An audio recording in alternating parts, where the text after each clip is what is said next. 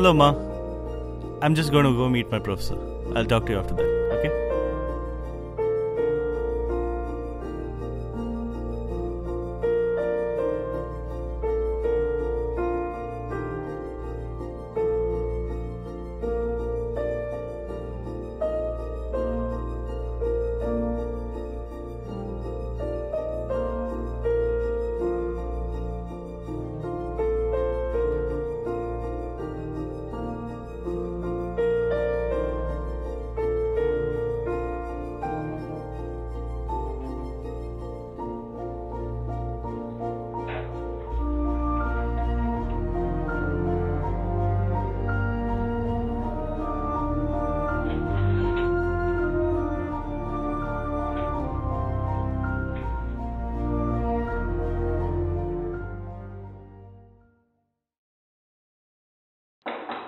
May I come in, sir?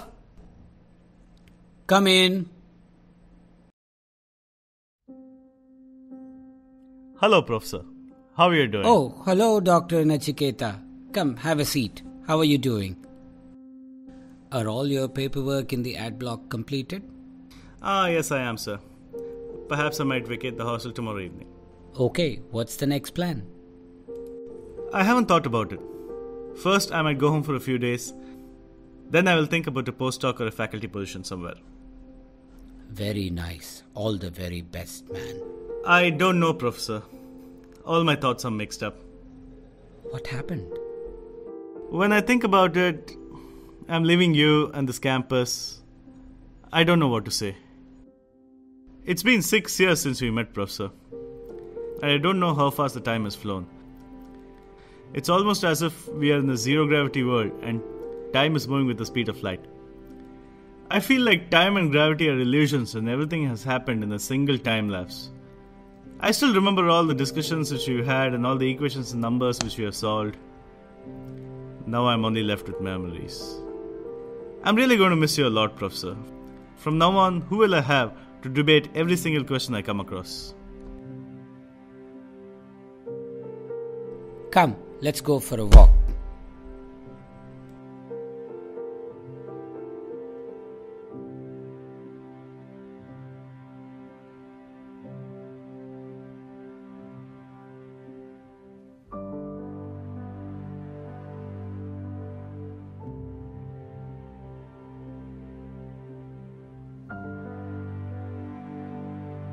Nachiketa, all students go through this phase, man. When I was a graduate student, I still remember I was like you, young, energetic, full of vigor. I remember my advisor, brilliant man, very funny too. I remember he was teaching a quantum mechanics class. He was teaching the basics of vector calculus, the idea of A dot B cross C. A student gets up in class and asks, The moment I dot A with B, I'm left with a scalar. How do I cross it with C? Very funny way, he says. Start dotting A with B just before it turns into a scalar. Cross it with C.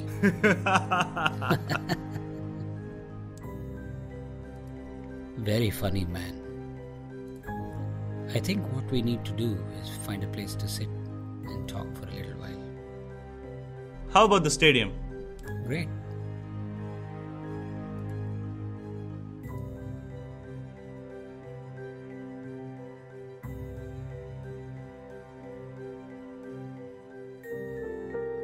Sir, if you don't mind, I want to ask you a question.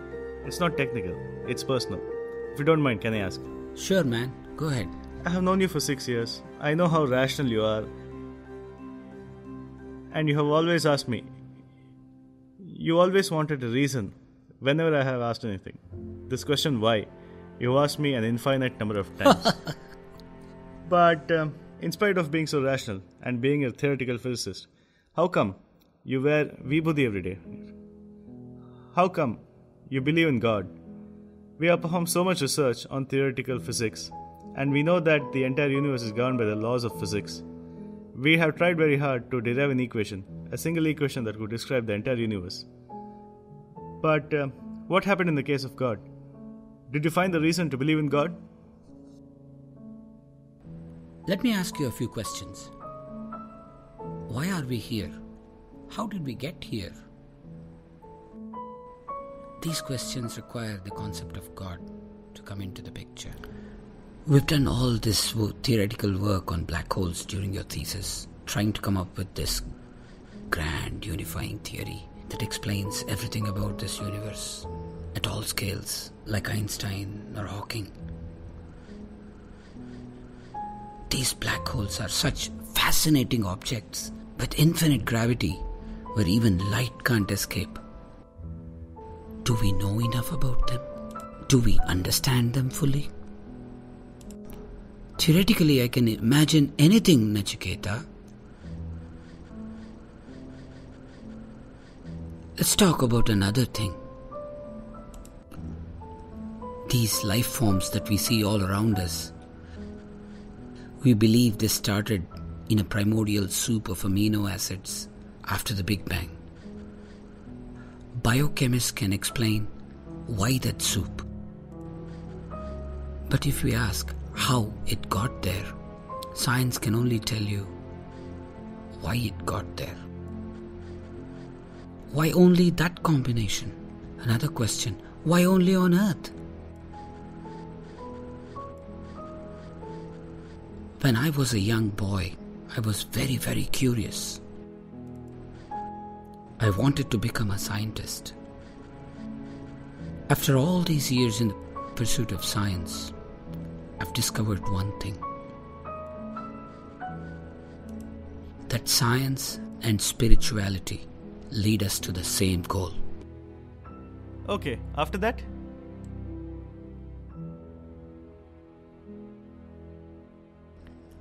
If you think science has a way to disprove God, you're wrong. If you think science has a way to prove God, you're still wrong. God can exist and not exist at the same time. He can be everything and at the same time, he can be nothing. He is who you want him to be. What serves your purpose? What gives you meaning to life? What gives you a model to explain love and attachment? That's all you need. I'm a teacher. I see God in teaching, in learning. I see God in the classroom. To me, whatever gives us inner peace, happiness, and explain our emotions explains all the attachments is what God is to me.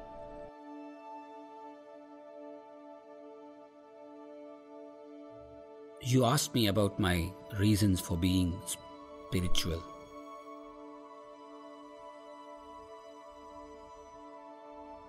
I believe in numbers. I believe in theories. I believe in explaining using reason we use our mind to reason and answer difficult questions.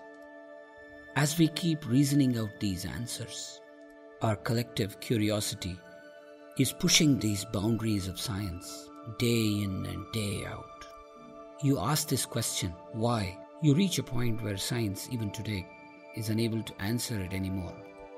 But that boundary is being pushed every day by our collective curiosity by all the scientists in the world. That's where I believe if we keep going down this path, both science and spirituality will take us to the same goal. That's why, to me, it's important to be spiritual while being in the pursuit of science. I think, I believe they will reach the same goal eventually. And that goal is inner happiness. Whatever explains the life around you and your emotional attachment to it. Whatever explains the world to you is where this pursuit should end. That's where it will end. Professor, it's your phone.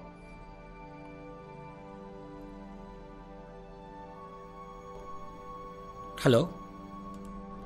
Oh, yeah. Sure. I have to leave. We had planned dinner this evening. I guess your wife has been waiting for you for a while. Why don't you join us? No, thank you. I think you should carry on.